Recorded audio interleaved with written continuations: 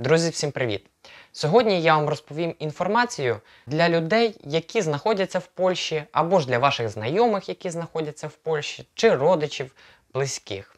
І так, якщо вони знаходяться або ж ви знаходитесь в Польщі по біометричному паспорту, або по будь-якій польській робочій візі, і вона у вас закінчилася під час карантину. І ви не знаєте, що робити, чи буде депортація, коли ви будете виїжджати в Україну. Чому я записую, друзі, це відео? Тому що я дуже бачу часто, і в мене запитують, телефонують, чи я дістану депортацію, якщо я маю біометричний паспорт і він в мене закінчився при виїзді в Україну.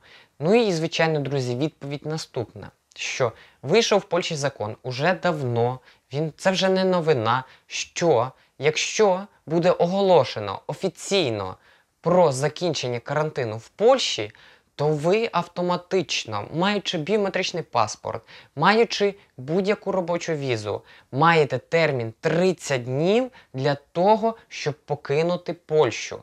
Тобто, якщо ви вкладетеся в терміні до 30 днів, щоб виїхати в Україну, то в такому випадку ви не отримаєте депортації і зможете собі без проблем приїхати в Україну і вже займатися своїми справами і думати, як наступного разу поїхати в Польщу і знову почати працювати в нормальному режимі. Друзі, сподіваюся, що я зміг загально відповісти на таке загальне запитання: чи дістанете ви депортацію, якщо просрочили безвіз або ж візу? Друзі, тому підписуйтесь на канал, адже я публікую тільки правдиву інформацію.